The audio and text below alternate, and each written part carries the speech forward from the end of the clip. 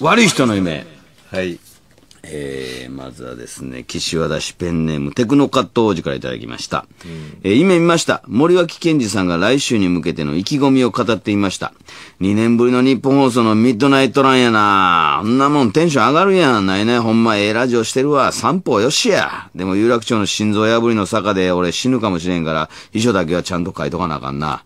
先ほど矢部君、自分最近お笑い界の遠藤康人を気取ってるけども、もっと前に出な。パス出してそれで終わりとちゃうで。パスゴーや。ディフェンスは長竹に任しとけ。吉本はオフェンスや。今幸せいっぱいの顔してるけども、僕は持ってけ100万円で街中を必死で走ってる時の矢部君が一番好きやったわ。先ほど矢部君、結婚おめでとうやで。後でギャッツビーあげるからな。ほな来週京都から江戸まで新幹線小玉で行くからな。ほんまに小玉人生、俺の人生そのものやね。来週ね、来てくれはりますから。こう散歩よしっていう名言残してくれはりましたからね。また来週なんか素敵な名言残していただけたらありがたいですけどね。ちょっと見てしまった、あの、アウトデラックスにね、うん。森脇さんと吉田栄作さんがたまたまやねんそれ。うん。ギャッツビーつけてカッコつけてん。そう、一緒に出たわけじゃなくて、たまたまキャスティングされて、ほで、あの、前後やったから、吉田さん先収録して、その後森脇さんで、日本撮りの？そう。で、終わるまで吉田さんが待ってはって、森脇さんを。うわ。で、森脇さん終わったら、ブワーってハグしだ。二人。もう俺らからしたら、うわギャッツビーつけて、カッコつけてや。そうや。。で、二人、わあ、さケンちゃんにシュー、そうそう。A ちゃんにシューや。シュッシュッシュ。そう、それほんで、俺らが見てたらやってくれはった。これなあ、これやってたなあ、言って。うわちょっとなんか熱かったわ。もうそれ以来お会いしてないって、二人とも。ええだから、うん。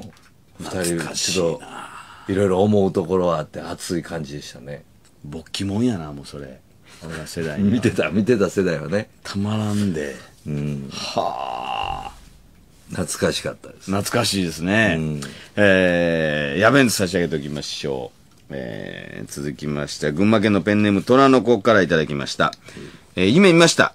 ベラルーシに敗れたザッケローニがインタビューされていました。放送席、放送席、ザッケローニ監督です。今回のヨーロッパ遠征は先日のセルビア戦に続き2連、えー、2戦連続で完封負けとなりました。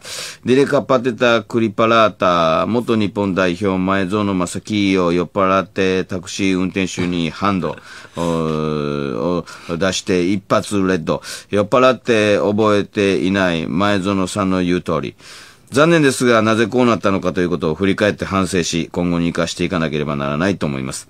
相手の見事なミドルシュートで失点をしてしまいましたが、お互いがマークする選手をよく確認し、もっと、えー厳しく当たるべきだったのでは。2010年、お腹を下した矢部博之、タクシーの中でおもらし事件、運転手に黙ってタクシー降りた矢部氏曰く、おもらし、過去悪い。確かに緩かったのが原因ですが、重要なのは自分のミスを認め、声を掛け合ってコミュニケーションを深めていくことです。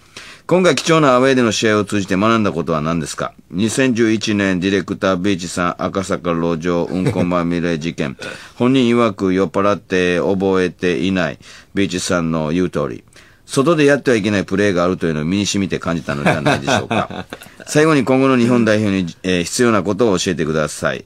矢部市タクシービーチさん赤坂岡村ないないライブリハーサル酒は飲んでも飲まれるな。トイレで出しても外出すな。相手や環境よりもまずは自分自身をしっかりとコントロールすること。それがもっと必要だと思います。ザケローニ監督でした。ありがとうございました。どういたしまして。そう言ったら、うんこサンバガラスですね、我々。ほんまやな。リーダービーチさんですけど。キャプテンビーチさんですよね。ダントツキャプテンでしょ。キャプテンうんこマークつけてますもんね。だどう、こう、泥酔して、うん。こう、もう覚えてなくて、どう出るかですよね。怖いよね。うん。覚えてない時って。あのー、確かにね、もうほんまお酒って怖いですよね。こうもう一発で終わりやからね、こんなことしたら、ほんまに。そうそうそこれはあかんで。そうそうと、ビーチさんのうんこってちゃんと拾っていきました。あのー、犬のうんこも蹴ったらあかんっていうふうに聞いたもんですから、ビースさんのうんこでちゃんと何かしらの形で赤坂から拾って帰ったんですか？拾われましたか？拾われたと思います。そういうならいいんですけどね。え、かよちゃんとか流したんちゃう？のな、水。流したっていうかもうビーチ君のケツにパーン水かけたみビたいな。ビーチ君がびっちゃびちゃやったよ、もう、すごい様やな。うんっていうか、うん。拾われましたね。えビーチ君ごと拾われたよえ、いや、ほな。んま、うんあの、気ぃつけましょう。うんこもあかんし、暴力もあかそやで。ん。ね。うん。ほんまにお酒はほどほどにたしなむ程度にね、しましょう。坪倉なんか酔っ払って、歩、もう帰り歩きながら酔っ払ってですね、眠たなってですね、ん歩きながら寝ててですね、電柱に、でこガンぶつけて、すごい深い傷、負ってたよね。まあもうそれ寝ぐらいやったらまだね。歩きながら。それぐらいやったらまだよもう他人にな、こうなんか、まあもう、無駄に絡んだらやっぱああもう電信橋で、何やこんな野郎って言うのってあれやけど、まあ、あれもイラチやからな、気ぃつけな。り、そう、自分だけやったらもうね、そうそうそう。自己責任やから。ほんまほんま。うん、ええねんけど。なあ。一回飲んだことあんねんでも、前園うん。と。強いよ、め,、んめちゃめちゃそんな感じないよやから、うんすごい強くてしっかりしてんのよ。うん。何があったのかちょっとわかりませんけども、気ぃつけやなあきません。えー、やべんつ差し上げときましょう。はい。えー、中野区ペンネーム足部からいただきました。えー、夢見ました。コンサート会場の裏方の人が話していました。暇ですね。まだコンサート始まって1時間しか経ってないですよ。紙吹雪、プシューのボタンを押すのにあと2時間。コンビニでも行ってこうかな。開演前はめっちゃ混んでるけど、コンサート中はガラガラ。これってコンサートあるあるですかね。この間連れと話してて分かったんですけどね、世間は僕ら紙吹雪プシューするのと、炎をブワーするやつ同じや思われてるみたいなんですよ。心外ですよね。あんな奴らと同じにされたらほんま、ハリウッド映画でいう正義は FBI で悪者 CIA みたいなね。僕ら FBI っすよ。そや、先輩って炎をボーンするチーフのやつと同じ大学やったんでしょしかもサークルも同じって聞いたんですけど。それでも仲悪いんですね。もしかしてあの噂って本当ですか？エアロスミスの武道館のライブのオーラスで、紙吹雪プシューの直後に炎バーンの奴らがタイミング間違ってボタンを押したから、僕らの紙吹雪空中でチーチに燃え散ったっていう話。あいつらめっちゃムカつきますわ。実際どうやねんやろ？紙吹雪プシューっていうのと、炎ボワーっていうのと。同じチームのような気がするけどな、特攻。大きく言うとね、うん。まあ、ボタンを押す人は違うやろうけど、それは間違ったら、あれやろうから、同じチームのような気がすんねんけどな。いや、だよ、もう間違ったら終わりやからね、あの人らやっぱり。もう一発勝負やもんね。いや、そうそうやで。この後に、これがきっかけで、うん。プシュー。そうや。うん。もう一生懸命、あそれをもうずっと練習してあるわけやからな。うん。特に火の扱いなんてもう絶対やからな。うん。昔な、あのー飲料水のコマーシャルでマイケル・ジャクソン頭パーン燃えたもんね。ああ、そやで。あったな。ペプシかなんかの CM で、パーって踊ってて、うん。バーンってやって、頭バッて燃えてるけど、マイケル・ジャクソンずっともう踊ってて、で最後、熱なって最後、くるって回ってみんなバーって消したの。で、あれからちょっとなんかその、なんていうの？えー、その火傷を治すのにっていうので、だんだんこう、肌がっていううん。説、成長っていう説と、うん。あれからなんかいろいろこう治療のためにっていうのも言われてるけどね。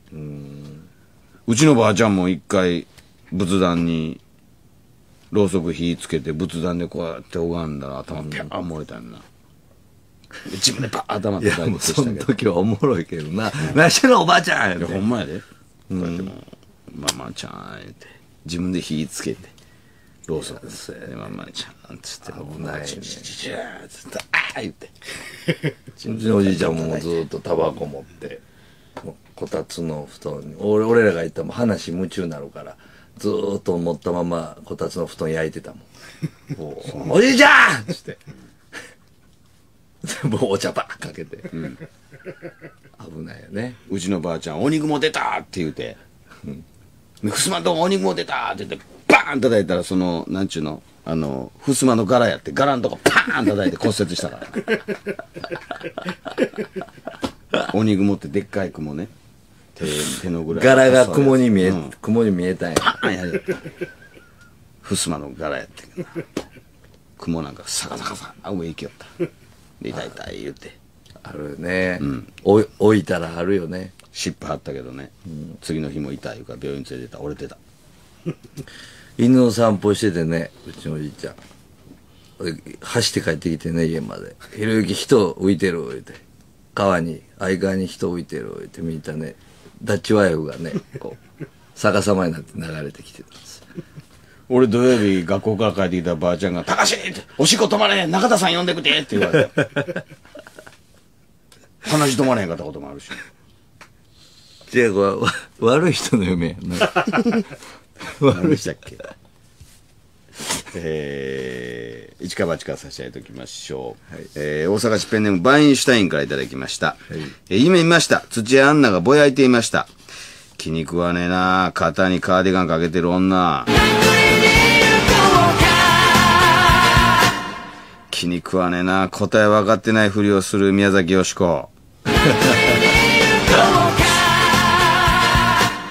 気に食わねえなジャンクスポーツで関西弁で突っ込む三宅アナウンサー。気に食わねえなゴーイングで淡々としている上田晋也。気に食わねえな誰逃れ明美。気に食わねえな小池の顔。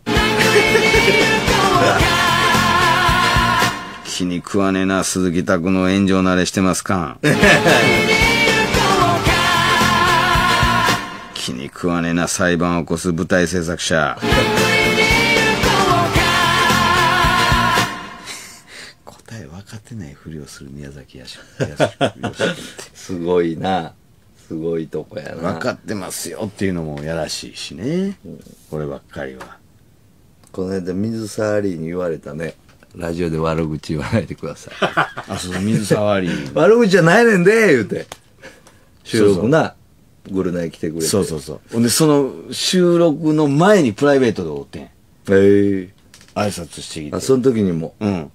はじめまして。って言って、あ、あ、うん、すぐ俺、あ、偽物やん。って言う やめてください。って言って、し知ってるよってラジオで言ってること。ラジオで言ってること。いやそんな言うてんねん悪口とかちゃうでって、あんな売れ方あんねんなっていう話したんやでって言って。いや、でもそんなこと、まあ、あんま言わないで気にするタイプなんだから。でも偽物やろ？って言って、偽物じゃないの？って言って。言うてた後ろが事務所の社長来はって。どうしていいかわからなくて。もう、もうええか、思って。うまいことやりましたな。社長になんちゅう口の利き方すんねやろな、思ったけど、もう引くに引かれへんかったから、そのやりとり全部聞いてあるから。もうしゃあない。うまいことね、やりま、やりまりしたね。でも笑ってはるやろ、社長。うん。なんか、まあそういうパターンもあんねんな、思って。そんな悪口じゃなかったよね。そういうのあんねんな、っていう。寄せてるやろとか言うたけどな。うん。うん。あとやっぱそれだけインパクトあったからね。そうやね。うん。えー、やべん差し上げておきましょう。